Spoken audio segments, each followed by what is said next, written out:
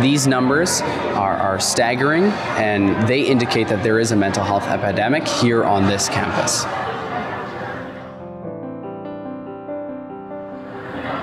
A continuity of care is a big piece of the puzzle for us. Students need to know that as they're entering university, uh, there are people to support their well-being, and as they're leaving university and getting ready for the next stage of their life, they're still going to be able to rely on other supports in the London community or here in the province.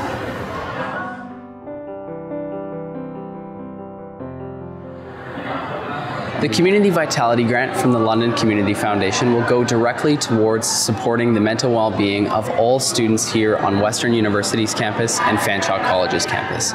Now that includes putting together a mental health literacy plan uh, and understanding sort of what gaps need to still be filled here on the campus.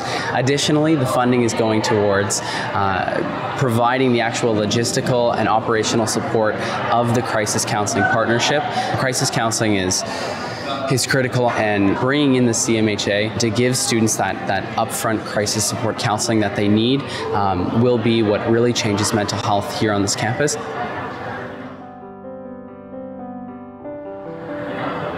The partnership that this grant is supporting uh, will be a game changer for all students at Western and Fanshawe. If we can make it that much easier for students to just seek a community support like this, uh, we're going to go a long way for that student during their time here on campus and a long way for them here in their life. This community partnership, I believe, is one of a kind, um, but we can make it several of a kind and we can sort of increase the capacity of the partnership here on our campuses and we can do it at other areas and other institutions across the province.